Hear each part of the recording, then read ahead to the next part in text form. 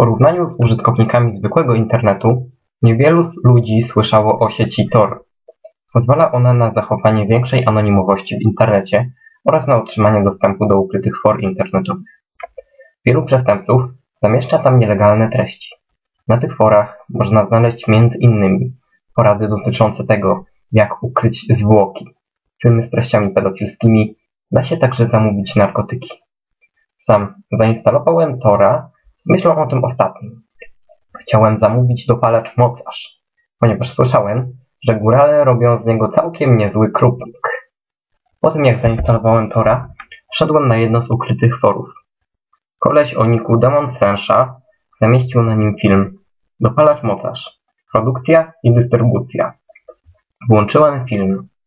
Widać było na nim gościa ukrywającego się pod różowym kocem i noszącego czarny kapelusz. Koleś opowiedział o tym, jak oskurować noworodka, o tym, jak należy zmielić jego zwłoki, o tym, jak należy nasycić je ekstraktem, ekstraktem z mięsnego jeża, a na końcu zamieścił instrukcję, jak zamówić ten narkotyk. Postąpiłem zgodnie z jego zaleceniami i po kilku dniach odebrałem pocztą upragniony dopalacz.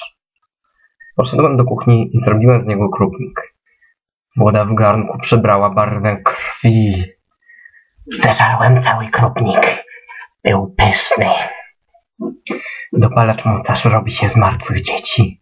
Jeśli masz mniej niż 16 lat i spotkasz w nocy w ciemnej uliczce kolesia ukrywającego się pod różowym kocem, uciekaj.